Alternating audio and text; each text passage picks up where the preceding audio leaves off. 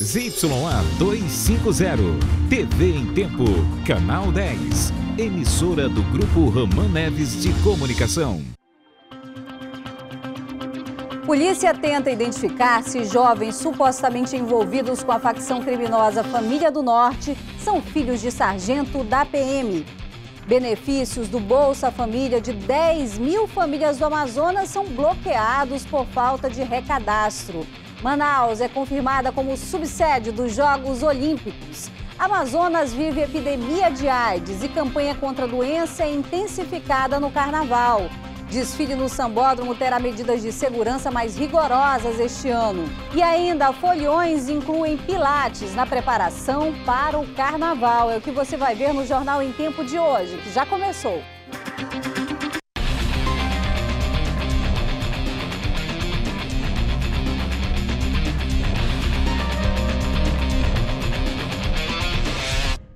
Para você que acompanha o Jornal em Tempo pela internet. O Serviço de Inteligência da Secretaria de Segurança Pública investiga dois vídeos que foram parar na internet. Neles, supostos integrantes da facção criminosa Família do Norte aparecem. Dois seriam filhos de um sargento da PM. Neste vídeo, o garoto com a arma na mão dispara para o alto. Ele é supostamente um dos filhos de um sargento da Polícia Militar. Os outros garotos se divertem com a cena. Já neste outro vídeo, o ritmo do funk embala fotos da facção criminosa FDN.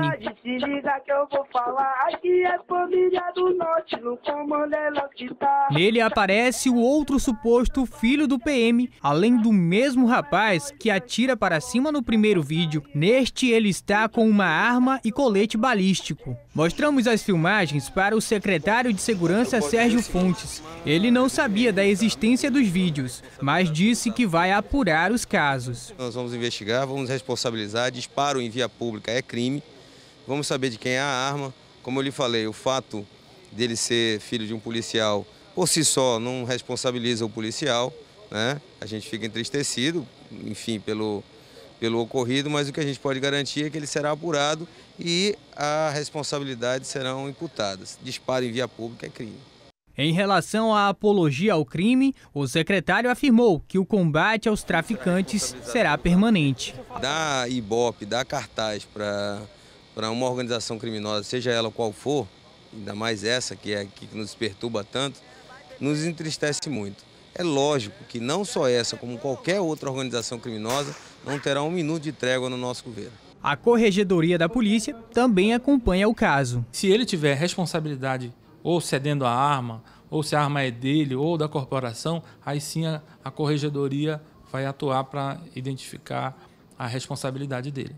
Já se sabe a identidade do sargento.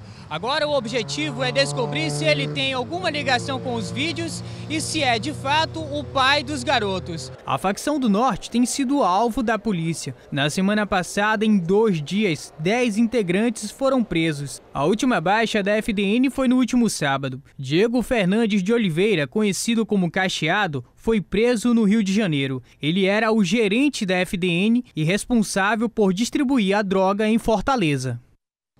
Em Maués, o soldado da Polícia Militar Ronaldo Silva da Costa, de 31 anos, foi assassinado a tiros e facadas. Ele estava no município havia um mês. A polícia ainda investiga a morte do PM. Segundo a Secretaria de Segurança do Estado, de janeiro de 2013 a janeiro deste ano, 11 policiais civis e militares foram mortos. Mas a Associação dos Praças contesta os dados e diz que foram 22 mortes.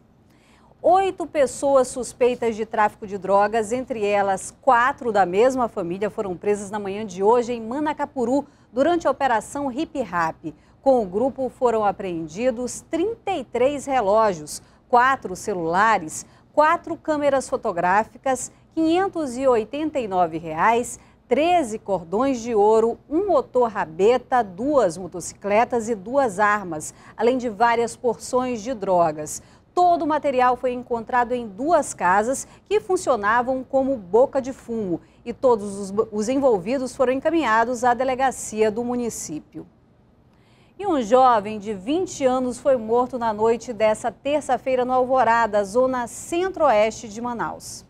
André Nascimento de Lima foi morto com dois tiros na cabeça por volta das 8 horas da noite na rua Alfredo Nascimento, Alvorada 1. Segundo testemunhas, dois homens chegaram em uma moto e efetuaram três disparos. Dois acertaram Andrew, que morreu no local. De acordo com informações de vizinhos, a vítima tinha envolvimento com o tráfico de drogas. O tio de Andrew chegou a pedir que os bandidos não machucassem o sobrinho, mas os assassinos disseram que o problema não era dele. A delegacia de de Homicídios e Sequestros investiga o caso. Daqui a pouco, Manaus é confirmada como sede dos Jogos Olímpicos e ainda a Bolsa Família de 10 mil beneficiados é bloqueada por falta de atualização do cadastro. Nós voltamos já.